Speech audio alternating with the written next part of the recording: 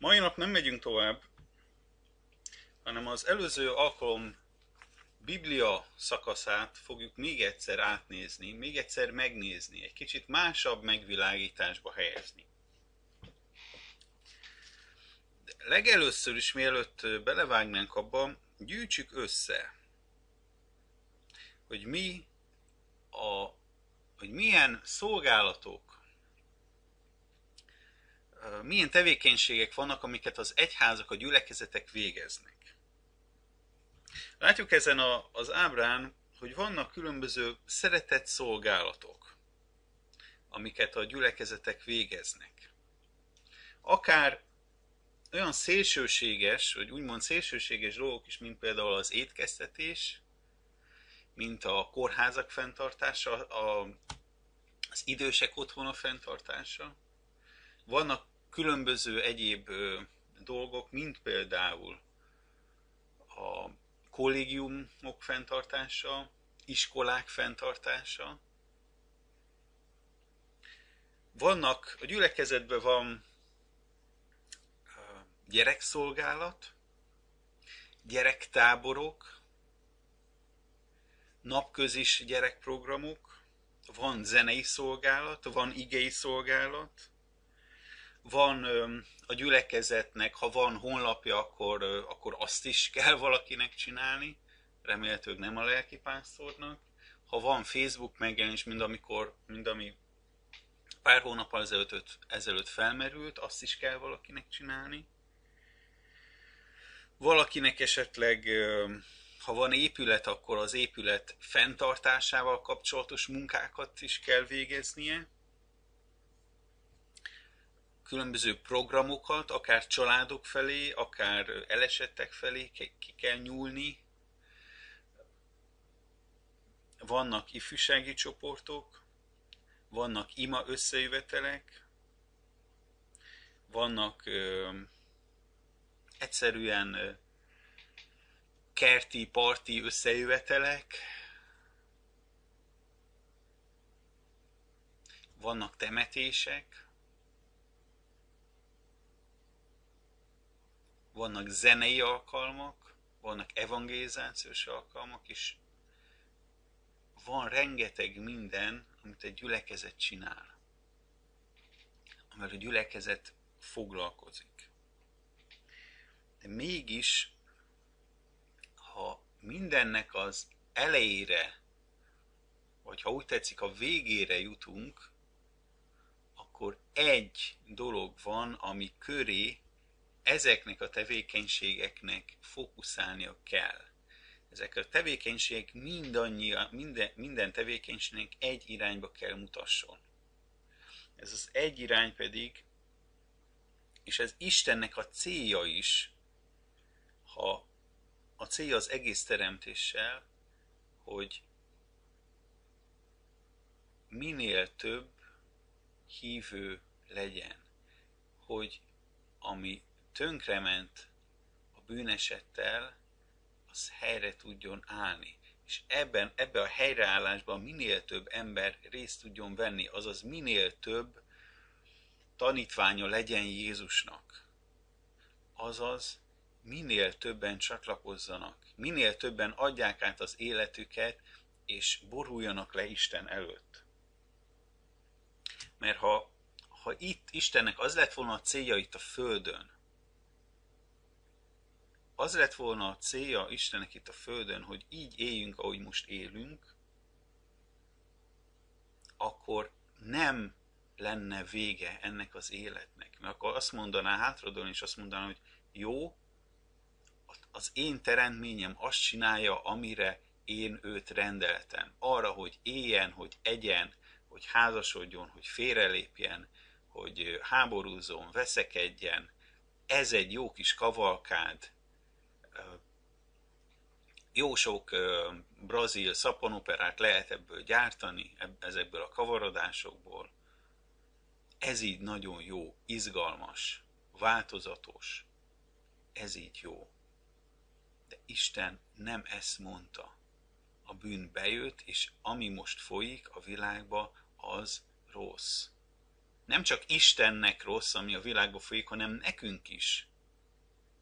Azért rossz nekünk, nem csak azért, mert itt, hogyha valakit megcsalnak, az igencsak zokon tudja venni, meg ha verik a feleséget, meg a gyereket megerőszakolják, azt is nagyon zokon lehet venni. A, a főnök valamit csinál, azt is nagyon zokon lehet venni, és, és ha valaki ebbe a mókuskerékbe belemegy, akkor nincs, nincs elég pénz, nem szeretnek eléggé, mindig hiánybetegségei vannak az embernek, vagy lelki, vagy testi, vagy bármilyen, és megpróbálhat mindenféle palaóval, egyéb dologgal ellene tenni, meg különböző meditációkra járni, hogy a testét meg a lelkét is valamennyire helyre rakja, de sosem lesz meg neki az a, az a teljes megelégedése. Mindig lesz valami, egy pici, akkor is lesz. Nagyon sok elégedett és boldog ember van. Mert éppen szerelmesek, mert éppen ez van, mert éppen az van. és nagyon sokan elégedették is lehetnek az életükkel, ha visszatekintenek, és azt mondják, hogy át, jó volt, ezt csináltam, azt csináltam, izgalmas volt, jó volt, stb. Biztos, hogy voltak ezeknek mindegyik ilyen boldog és elégedett embernek voltak nagyon rossz periódusa is az életben. De maguknak inkább azt mondják, hogy jó volt.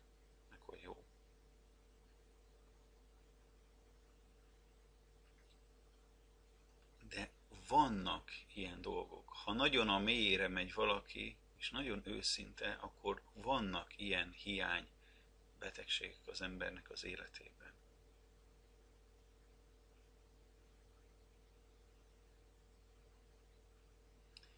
És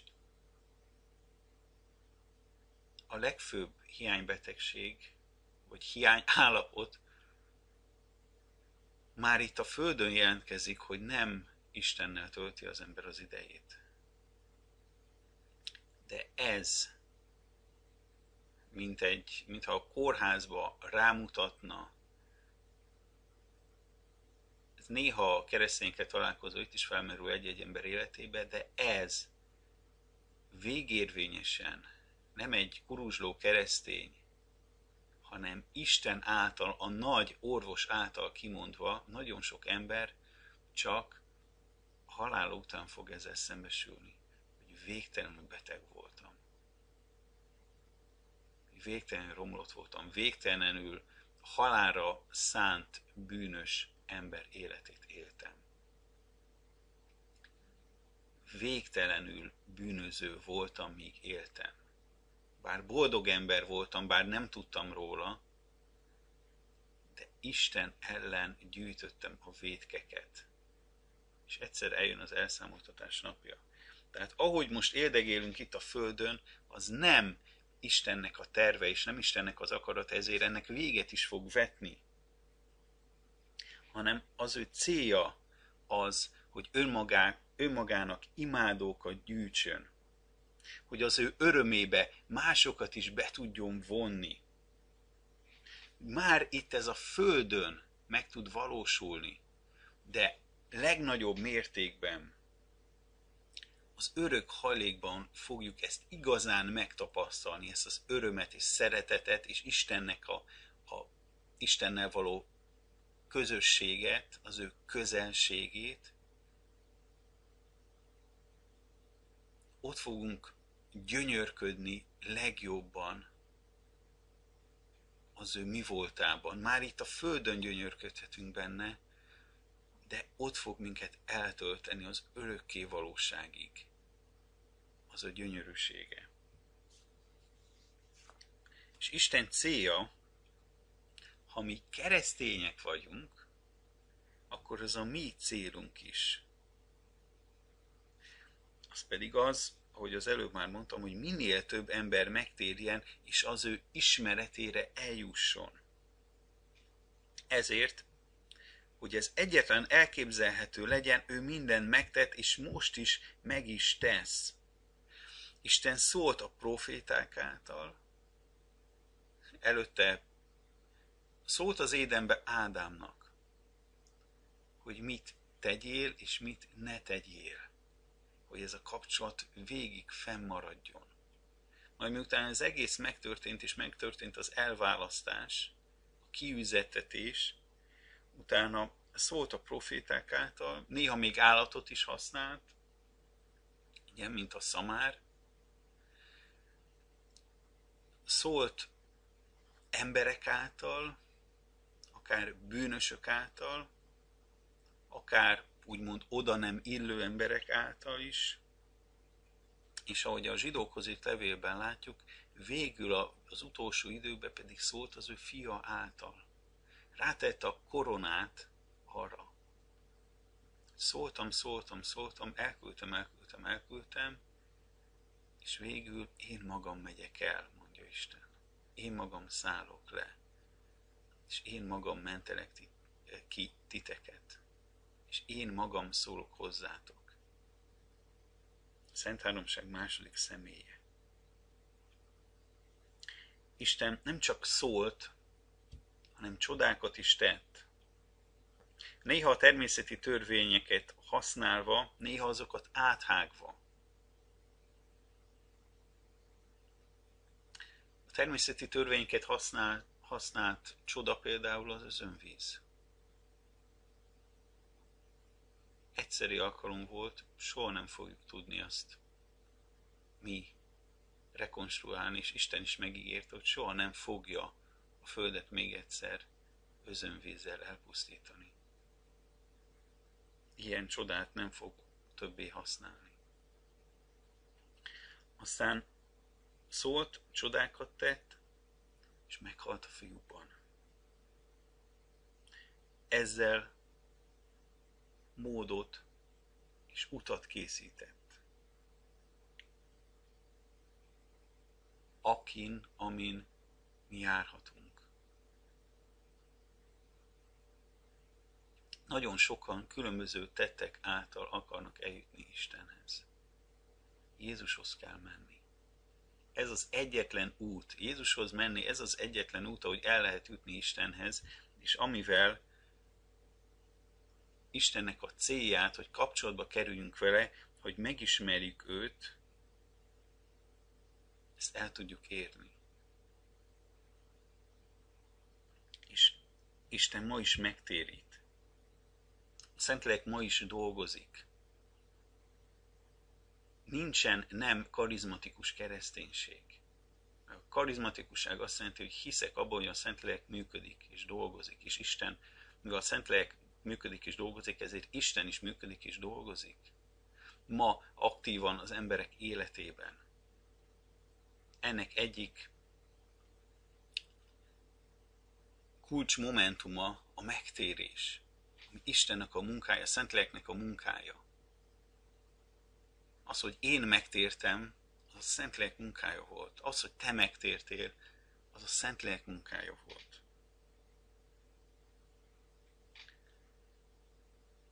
És ő fenn is tartja az egész teremtést. Az, hogy fenntartja az egész teremtés, annak az egyetlen célja az, hogy most is legyen minél több embernek esélye arra, hogy megtérjen. De ennek a fenntartásnak, ennek a megőrzésnek egyszer vége lesz. Nem tudjuk, hogy mikor. De egyszer vége lesz, és eljön a nap, amikor húz egy vonat, és azt mondja, hogy innentől cezúra van. Innentől ott a pokol, és, és itt van a mennyország. És mindenkit a tettei, a cselekedete szerint megítélek, mondja Isten. Fentartja a teremtést, igazgatja a teremtést addig. Már korábban mondtam, hogy beszéltem erről a 15 állandóról, amik a világban a tudósok azt mondják, hogy nagyjából hát ennyi állandót szedtek össze, a gravitációs állandó, stb. különböző dolgok, aminek a mértékét, az egymáshoz való viszonyát vizsgálták, és arra jutottak, hogy ezek ha egy milliómodnyit eltérnének egymástól, nem csak önmagukban, hanem egymáshoz viszonyítva is változnának egy picit is, akkor az egész világ mindenség úgy, ahogy van, az összedőlne ha szétesne, annak vége lenne. Ő tartja fenn ezt az egész világ mindenséget. Abból a célból tartja fönn az egész világ mindenséget, hogy a szomszédod megismerje, hogy a buszon melletted ülő megismerje, hogy a főnököd megismerje, hogy a gyereked megismerje Krisztust, hogy tudjon vele találkozni, hogy Isten át tudja ölelni, és azt, azt tudja mondani, hogy téged az én fiammá fogadtalak. És itt fogsz lakni az én házamban, az atyai házban. Ezért van, ezért tartja fenn Isten ezt az egész teremtést. Hogy azonosítja Jézus a megtérést? Ezt megnéztük alaposan a Márk evangéliumában. Hogy azonosítja Jézus a megtérést? Azt mondja, hogy megtagadni önmagam, felvenni a keresztem és követni őt. Ez a megtérés. Ha megtérésre gondolsz, és a, a megtérés szó van előtted, akkor gondolj erre. Megtagadni önmagam, felvenni a keresztem és követni Istent, követni Jézust. Mi történik akkor a saját céljaimmal? Mi történik a saját céljaimmal, ha megtagadom önmagam, és felveszem a keresztet, és követek valakit? A saját céljaim logikusan, abból következően, amit én teszek, hogy megtagadom önmagam, felveszem a keresztet, és valaki mást követek. És saját céljaimat megtagadom. Saját céljaim azok semmisé válnak. de ez nem jelenti azt, hogy az életem, miután keresztény lettem, az céltalan lenne. Mert van célja az életemnek. A célja az életemnek az Isten célja.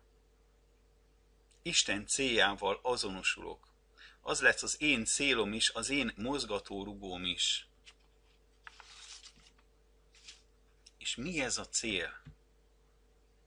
cél, hogy minél több ember megtérjen és Isten ismeretére eljusson. Ha nem ez a célja az életednek, ha nem e köré rendeződik az életed, akkor gondold át, hogy mi mozgat téged. Hogy kereszténye vagy-e, vagy nem. Mert ha keresztény vagy, akkor ez mozgatja az életedet. Ez az életed mozgatórugója. Ne csap be önmagad ha nem tartod fontosnak mások megtérését, és nem ezen dolgozol, akkor nem vetted át Istennek a célját.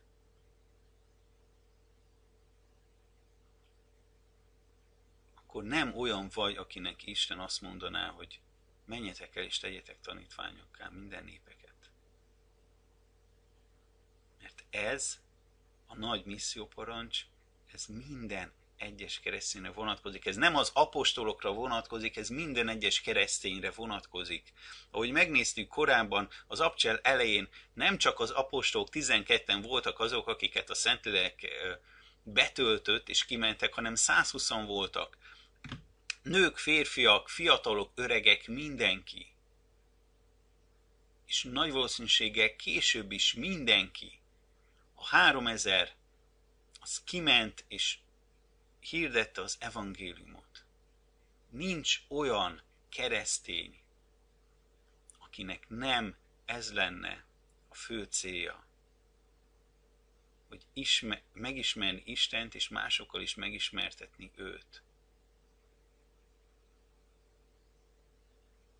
Mert ez, ez a fő célunk. Mint keresztényeknek fő célunk, hogy minél több ember megtérjen és Isten ismeretére eljusson, hogy aztán ők is, ő általuk is minél több ember megtérjen és Isten ismeretére eljusson. Menjen futótű, futótűz módon terjedjen az evangélium. Az ismerőseim, a barátaim, a, akivel belebotlok az utcán, vásárlás közben, menjen az evangélium. Az evangélium nem az én erőm, hanem Isten ereje minden ember üdvösségére. Az evangélium minden ember üdvösségére való dolog. Arra való, hogy az emberek megtérjenek. Ha valaki azt mondja, hogy én evangélium keresztény vagyok, de nem evangélizálok, nem úgy életem, élem az életemet, hogy mások megtérjenek, nem ez a fókusz az életemnek, akkor nem vagy evangéliumi keresztény, akkor az nem mondja magát evangéliumi kereszténynek.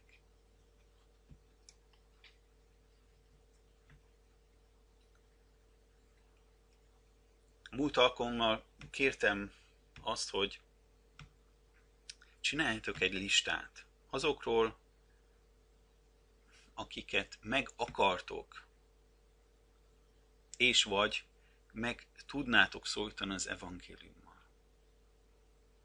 Nagyon fontos ez a lista. Nagyon fontos, hogy legyenek előtted emberek, hogy ne céltalanul éld az életet, hogy e, majd, majd csak belebotlok valakibe. Legyél tudatos. Legyél tudatos abba, és az evangéliumot meg akarom osztani valakivel, meg akarom osztani másokkal, meg akarom osztani pár emberrel. Most van egy, van egy listám, és az a lista folyamatosan bővülni fog. És ha megosztottad két, három, négy, öt emberrel az evangéliumot, akkor az ő, akár az ő ismeret, ismeretségénk keresztül lesz további 4, 5, 6, 8 ember, akivel meg tudod osztani az evangéliumot. Akiknek az életébe be tudsz folyni.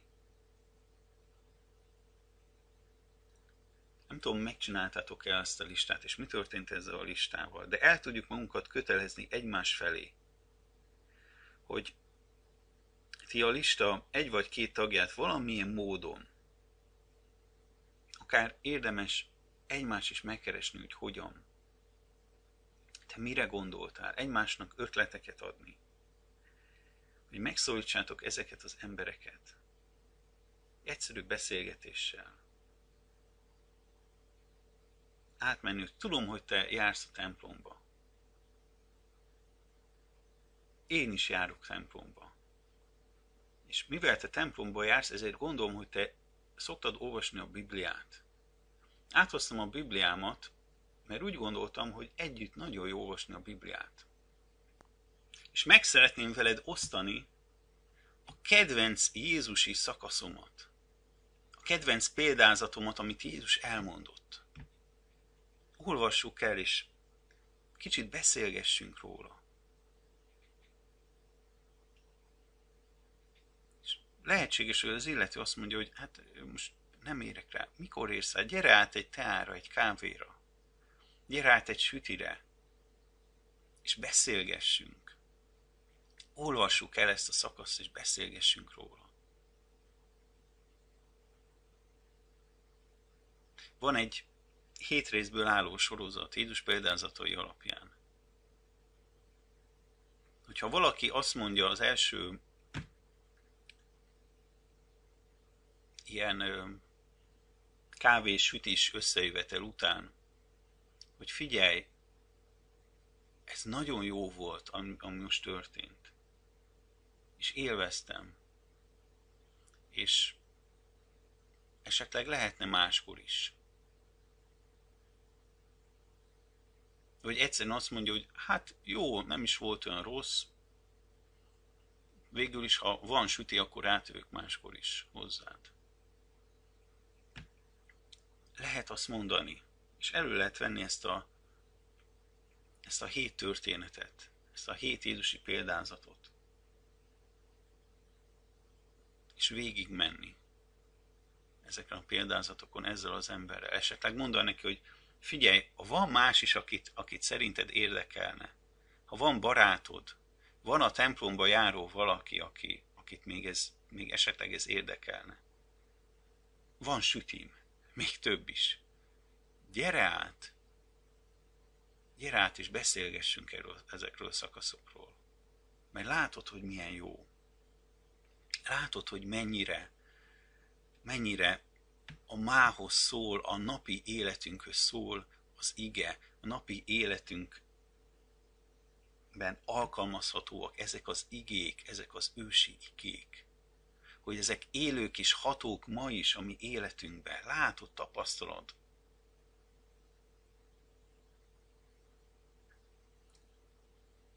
Tehát nem úgy kell megszólítani ezeket az embereket, hogy, hogy gyere el a gyülekezetbe. Te kezdeményezz velük beszélgetést. Hozd meg velük a te kapcsolatodat Istennel. Te kapcsolatod Istennel. Én pedig imádkozom értetek, és számon fogom kérni, mielőtt még Isten tenni ugyanezt. Mert Isten számon fog kérni titeket is, engem is. Hogy a környezetünk felé hogyan osztottuk meg az evangéliumot. Hogyan bántunk az emberekkel körülöttünk. És engem azért is számon fog kérni, hogy erre a feladatotokra, erre a tanítványi, erre az Isten szívén lévő célra én hogy figyelmeztettelek benneteket, és hogy tereltetek, tereltelek titeket ez, e felé a cél felé. A keresztény élet nem a szabadidő hasznos eltöltéséről szól. Nem arról szól, hogy a, a munka, a gyereknevelés és egyéb után lévő szabadidőt egy kis olvasás, egy kis imádkozással eltöltsük hanem felelősségteljes állapot a keresztény lét. Isten az összes ember adósává tett téged, és tett engem. Adósai vagyunk az embereknek. Mi tudunk valamit, mint az emberek nem tudnak. És azért tudunk valamit, hogy ezt a, ezt a tudásunkat, ezt a tapasztalatunkat megosszuk. Bármennyi is ez a tudás vagy tapasztalat Istenről de ha megtértél, akkor garantáltan van tapasztalatod róla. Akkor ezt megoszd. Az, hogy olvasod a Bibliát, az egy természetes dolog. Az, hogy értelmezed a Bibliát, az egy természetes dolog. És azt mondod, hogy Isten nekem ezzel az igével kapcsolatban ezt meg ezt mondja.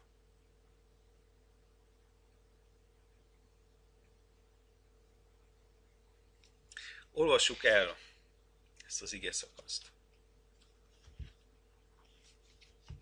Olvassuk el ismét, ahogy az előzőben elolvastuk a 4. fejezet 32. versétől az 5. fejezet 11. verséig tartó szakaszt. Először csak a, a 4. fejezet végéig olvassuk el.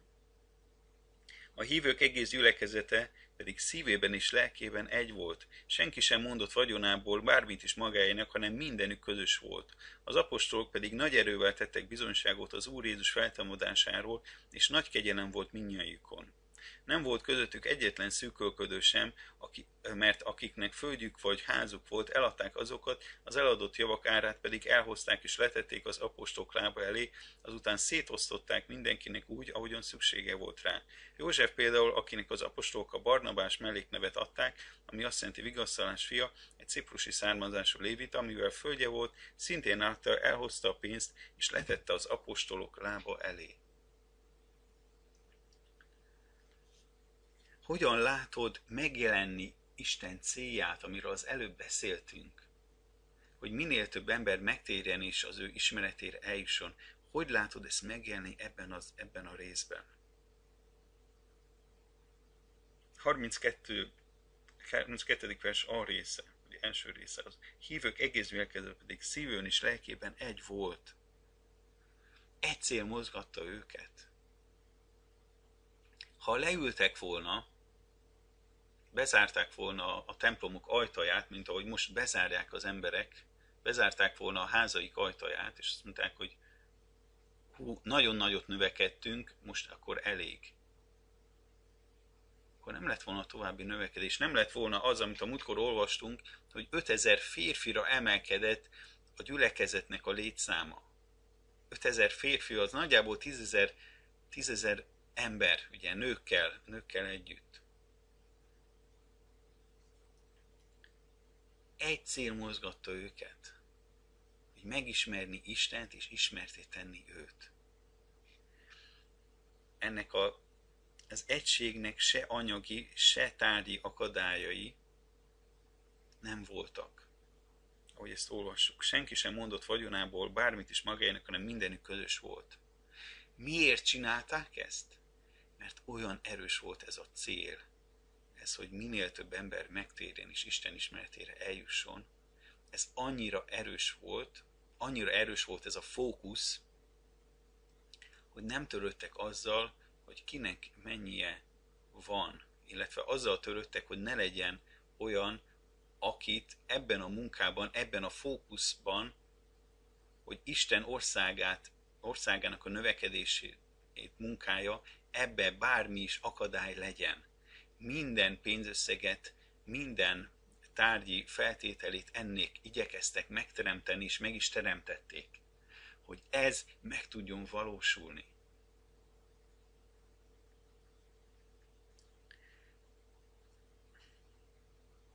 harmadik, az apostolok pedig nagy erővel tettek bizonyságot az Úr Jézus feltámadásáról.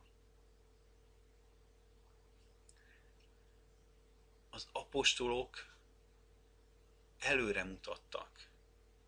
Az Úr feltámadásáról tettek tanúbizonságot.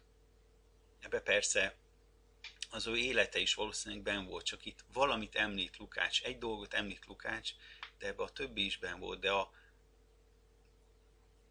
a, a többi Jézus életén és az evangélium üzenetén és a, az Ószövetségen keresztül minden afelé mutatott, feltámadás felé hogy majd egyszer bekövetkezik az, hogy az a, az, az édeni állapot, az helyre fog állni. És ezért az apostok vég a célszalagra mutattak. Látjátok, az a célszalag, ami felé mi megyünk, a feltámadás felé megyünk. Azt kell elérni, oda tartunk. Az legyen a ti fókuszotok is. Hogy ti megtértetek, most egyre mélyebbre kerültök Isten ismeretében, és amit ismertek, éppen amennyi is, azt mindet átadni, azt az emberek, embereket megfogni és bevonni ebbe, ebbe az Istennel való közösségbe.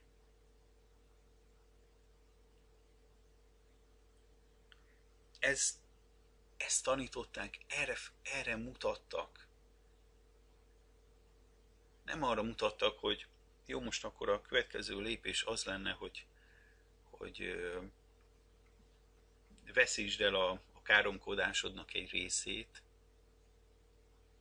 Nem, nem csak a, a napi elaprózott dolgokat próbáltak mutatni, hanem azt mondták, megmutatták, hogy ez a végső, ez a cél, erre felé megyünk.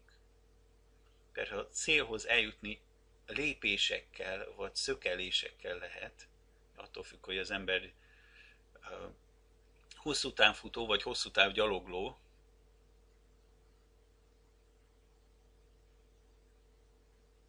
lépésekkel lehet, de a célt látni kell folyamatosan, hogy merre megyek, és egyre közelebb kerüljek ahhoz a célhoz. Mert tényleg, hogyha napi dolgokat nézem, akkor egy napi dolog körül keringhetek, és akkor a célhoz nem kerülök közel, hanem csak ott meditálok valami, valami körül. De a cél, a célszalag a feltámadás.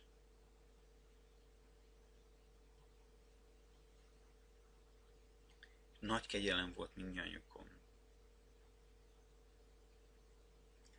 Majd kifejti az egység megvalósulását a tárgyi szükségek betöltésén keresztül a 34 és 4-es verstől.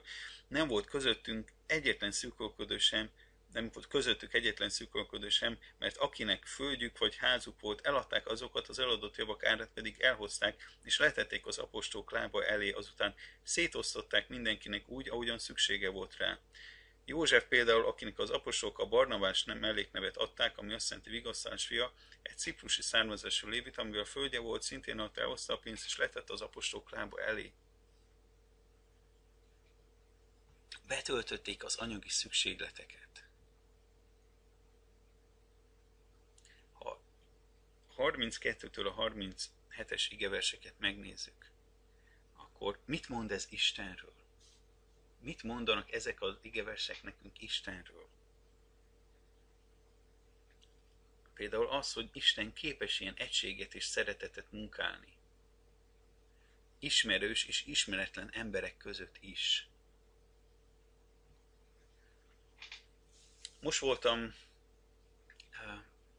Csetényben. Csetény Baptista gyülekezet gondokkal küzdik. Gondokkal küzdött utóbbi években is. A gyülekezet két nagy családból áll. Rokoni szálak keresztezik a gyülekezetet. És ezek a családok védik az ő rokoni szálaikat. És így volt egyfajta egymással szembeállás, ez nem biztos, hogy a jó szó, de volt egyfajta meglévő konfliktus, mélyben meghúzódó, több éves, tíz éves konfliktus. Csomagok, amiket az emberek magukkal vittek a gyülekezetbe, és amikből bármikor elő tudtak volna venni a másik ellen valamit. Hogy te ezt mondtad, te meg azt mondtad, te meg így, meg így, meg így, meg így néztél, meg úgy néztél. Egy gyülekezeten belül. De több, ha nem ismerősek az emberek, akkor is nehéz egységet kovácsolni. De azt is látjuk ebből, hogy nem csak képes Isten ilyen egységet létrehozni, hanem az akarata is ez. Nem arról van szó, hogy hát ő képes lenne, hogyha akarná hogyha ez meg lenne itt közöttünk, nem. Ő akarja is ezt az egységet, ezért nekünk törekednünk is kell, hogy ez megvalósuljon. Szabad kezet kell adni Istennek, hogy egymás felé tudjunk úgy viszonyulni, hogy meg tudjunk egymásnak bocsánat, bocsátani, bocsánatot tudjunk kérni egymástól. Az igazság és a jogosság és a kegyelem talaján tudjunk állni, amikor egymással beszélünk és egymás felé a dolgainkat rendezzük. Nem arról van szó, hogy bántsuk meg egymást, és utána mondjuk azt, hogy bocsánatot kérek. Nem mindig van két rossz egy konfliktusban. Valamikor csak az egyik csinál rossz dolgot. Be kell ismerni, hogy én ezt tényleg rosszul csináltam bocsánatot kérek tőled, hogy hergeltelek. Bocsánatot kérek, hogy úgy viselkedtem. És többet ezt nem akarom csinálni. És ha figyelmeztettél, akkor máskor is légy szíves figyelmeztes. És szükségünk van arra, szükségem van arra, hogy te is munkálj rajtam, hogy te is az Isten arcot előhozd belőlem. Hogy a Pilinszkinek a versében, hogy egy kapavágást te is tegyél, hogy az én Isten arcom elő tudjon jönni.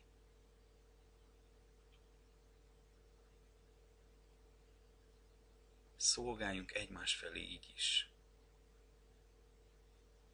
És ez az egység sem önmagáért van egyébként, ami abban a gyülekezetben, ebbe a gyülekezetben megvalósult, hanem ez is Isten kiábrázolása, aminek a célja Isten országnak az építése. Hát ki nem akarna a sok viszály és veszekedés, a politikai rendszer, most jobboldal, baloldali, a szomszédom a gyurcsányista, a másik meg Orbánista, stb. És különböző veszekedések, itt pedig együtt vannak az emberek, és azt mondják, hogy nem érdekel. Gyurcsány fölött is van valaki, Orbán fölött is van valaki. Én azt imádom, nem az egyiket vagy a másikat imádom, hanem Istent imádom. Istent, aki a végső hatalmat gyakorolja Magyarország felett, az emberek felett, gyakorolja a hatalmat fehérek felett, gyakorolja a hatalmat cigányok felett, gyakorolja a hatalmat politikusok felett, gyakorolja a hatalmat jó és rossz politikusok felett is.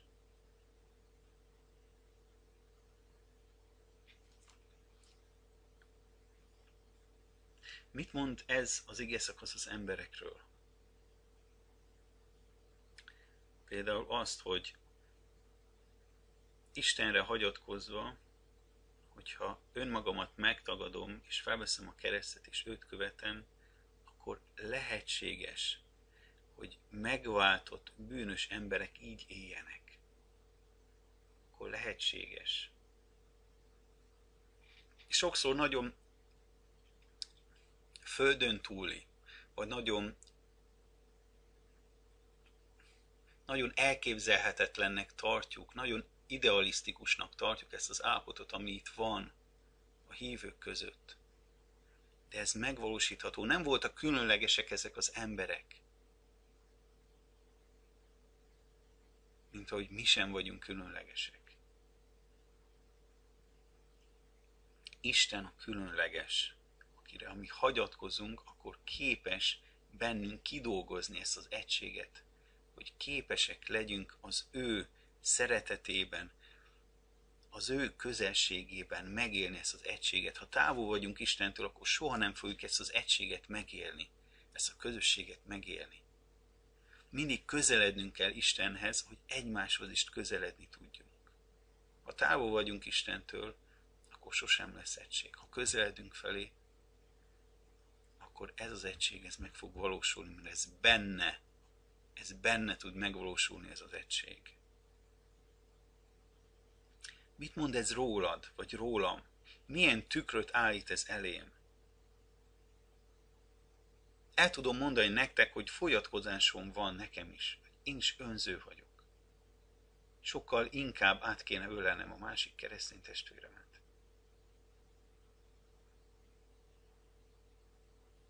És személyesen ez nekem azt mondja, és nem tudom, hogy neked mit mond személyesen, de személyesen nekem ez azt mondja, hogy jobban kell keresnem a módját, a formáját annak, hogy megvalósuljon az én életemben, vagy az én gyülekezetem életében. Ez a fajta egység.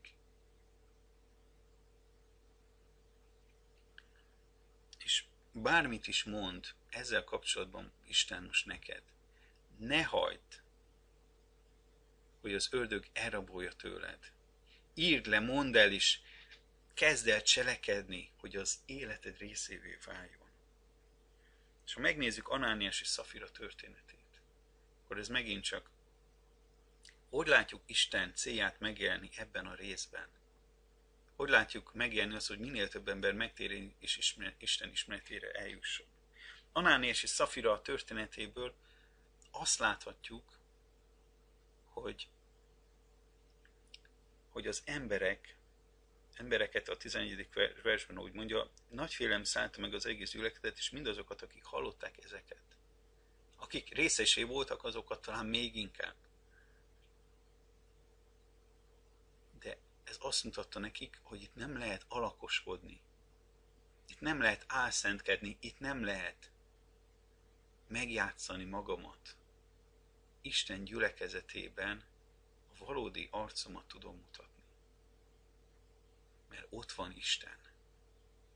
Ott van Isten. És ezzel Isten munkája azt, hogy ne legyen olyan a gyülekezetben, ne legyen olyan a gyülekezetben, aki nem azt tartja szem előtt, hogy minél több ember megtérni és Isten ismeretére eljusson, hanem legyenek olyan emberek, hogy ne legyenek olyan emberek, mint az Anániás meg a Szafira, akik saját dicsőségüket munkálták, ahelyett, hogy Isten országának a növekedését és Isten országának, országának a dicsőségét munkálnák. Isten országának, Isten dicsőségének a munkálása, a gyülekezet célja, az Isten országa ahogy növekszik, úgy egyre többen dicsérik Istent. Ez Istennek a célja. Ez az Anániás meg Szafir, ez a saját dicsőségét kereste. Ne legyen ilyen közöttünk, aki saját dicsőségét próbálna keresni, nem olyan legyen, aki csak kizárólag egyedül Isten dicsőségét akarja munkálni.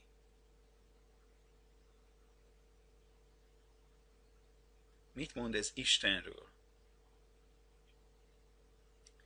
Ez azt mondja Istenről, hogy Isten ténylegesen ennyire tudja őrizni. Hogy Isten beleállt a szíveinkbe, őrzi az, őrzi az ő gyülekezetét. Nem látunk mostanában már ilyen eseteket, mint Anániás meg Szafira esete.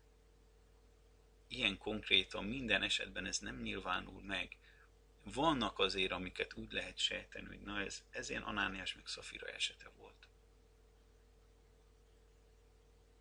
De tudni kell, hogy Isten belelát a szívedbe.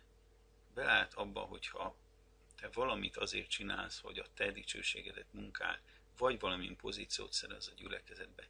Isten dicsőségét kell, hogy szolgálja a te működésed a gyülekezetbe. Ha nem azt szolgálja, akkor jobb lenne, ha te is meghalnál gyülekezet számára jobb lenne, ha te is meghalnál. Mert akkor nem az egységet szolgálod. Az egységet akkor szolgált, hogy Isten dicsőségét szolgálod. Ha saját dicsőségedet szolgálod, akkor nem az egységet szolgálod, akkor nem Isten szolgálod.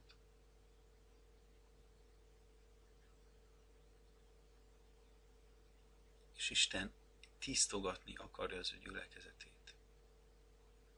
Ami felelősségünk is, ez a tisztaság, ez megmaradjon.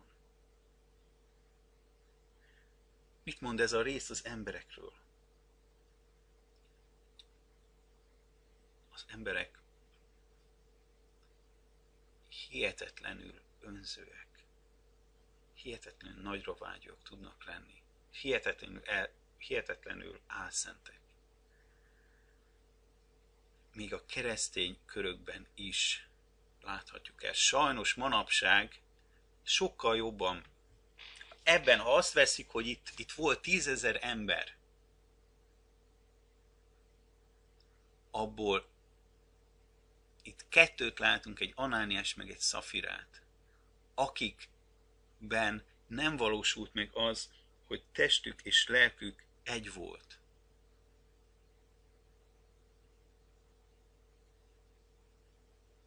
szívében és lélekben egyek voltak, ez nem valósult meg az ő esetükben. Tízezerből kettő. Ha most valami statisztikát csinálunk, akkor nem tudom ez mennyi lenne. Biztos vagyok benne, hogy nem kettő. Az ember szíve borzalmas. Az ember vágyai, mint állítólagos kereszténynek is borzalmas. tisztítsuk meg magunkat. Tisztítsuk meg a gyülekezetünket, tisztítsuk meg az egyházunkat. Tisztogassuk. Figyelmeztessünk, álljunk elő, hogy Timóteusnak írja Pál, alkalmas és alkalmatlan időben is. mert szükséges, tényleg szükséges. Egy ilyen embernek, hogy az ő bűnét leleplezze, ez mindig egy alkalmatlan idő.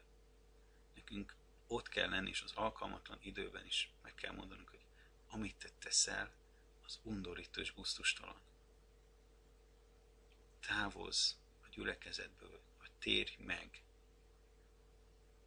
Mert így, ilyen élettel, ilyen módon nem lehetsz tagja a gyülekezetnek. nem megítélgetni kell egymást, de rá kell mutatni egymás bűnére. És rá kell mutatni arra, hogy van megtérés. És nem megsértődni, hanem alázatosan leborulni Isten előtt. Isten előtt leborulni. Ha hazudunk, tudjuk, hogy a Szentléleknek hazudunk. Nem embereknek hazudunk, a Szentléleknek hazudunk elsőrendűen persze embereknek is. De az igazi büntetést és az igazi megszegyenítést majd Istentől fogjuk kapni. Amíg van esélyünk vele elrendezni a dolgainkat, addig rendezzük el. Mit mond ez rólad vagy rólam? Mit mond személyesen nekem?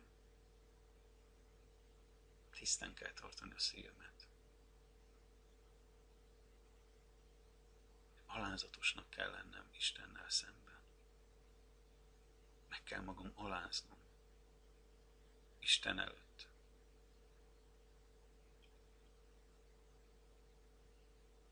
És szeretnem kell a másik embert.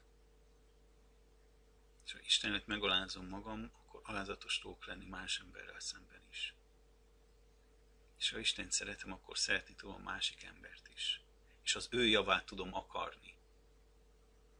Nem az, hogy én emelkedjem fel, hanem szolga tudok lenni, mint ahogy ezt az evangéliumban olvastuk mindenkinek a szolgája az a leghatalmasabb, az a legnagyobb. Ezt meg tudom csinálni, hogy mindenkinek a szolgája vagyok. Másokat akarok felemelni. Akkor az a legjobb. Ezt szeretnem kell Istent, és alázatosnak kell lennem. Mert ez az emberek felé is csak akkor fog működni. És még egyszer, ne hagyd, hogy amit Isten mond, azt az ördög elrabolja tőled. Írd le, mondd el, kezd el cselekedni, hogy az életed részévé legyen. Istennek egy célja van, mivel keresztény vagy, ha keresztény vagy, neked is egy célod van, az legyen az életed mozgatórugója, ami nem azt szolgálja az életedben, nem ezt a célt szolgálja az életedben, az dob ki az életedből. Az dob ki az életedből. Nem azt mondom, hogy a munkádat dob ki, mert a munka kapcsán tudod Isten országát építeni. Nem a pénzzel, amit azzal keresel, bár azzal is tudod, hanem a munkatársakon keresztül, a kapcsolataidon keresztül. A munka egy jó eszköz arra, hogy kapcsolatokat építsél ki,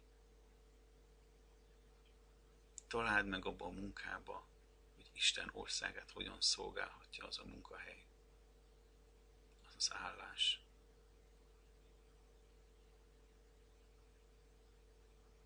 Legyél igazi tanítvány, Isten országnak az igazi építője.